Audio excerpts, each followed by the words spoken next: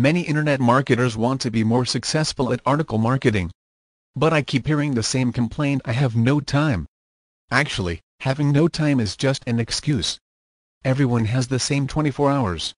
So why are some writers able to write thousands of articles, while the others are barely able to complete 10 articles? I think it's a not a question of no time. It's more a question of proper time management.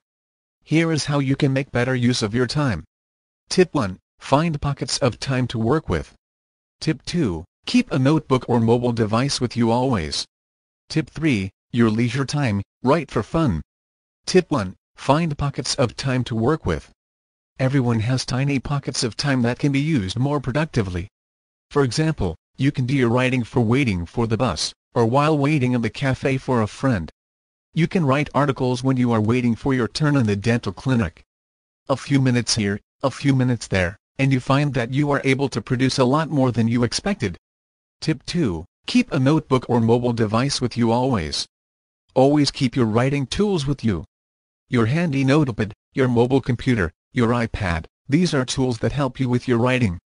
Wherever you are, just whip out these tools when you have the chance to write articles or just to jot down ideas. Tip 3. Your leisure time, write for fun. Not sure of what to do during leisure time? Write for fun. Writing can be very enjoyable, and for some people, it may even be therapeutic. You can write more, make more money, and have fun at the same time.